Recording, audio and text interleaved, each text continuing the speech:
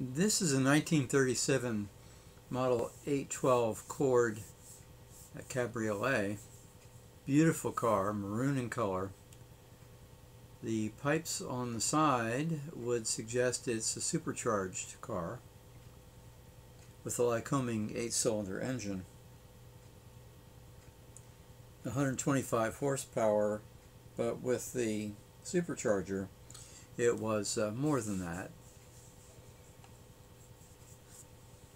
Front wheel drive of course and the interior is perfect. Beautiful chrome plating on the structure of the top. And here you see the engine turn dash. Beautiful tachometer.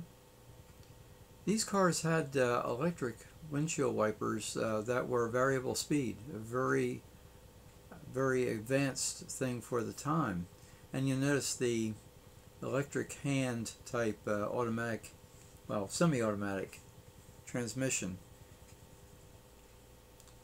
You pre-selected the uh, gear with that little uh, give it a uh, little lever there on the dash and you put in the clutch and it shifted to the next gear. It's a four-speed transmission, the top one being an overdrive gear. That transmission was uh, very sensitive to adjustment.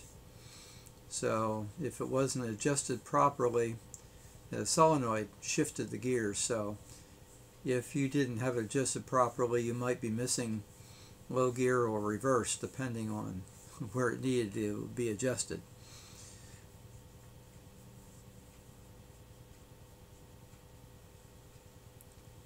Very advanced for its time.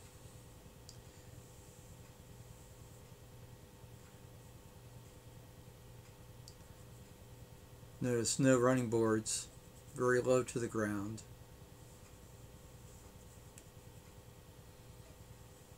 One of the originals as far as front wheel drive went. And of course they later used this body in the Graham and Hupmobile. They used the uh, sedan body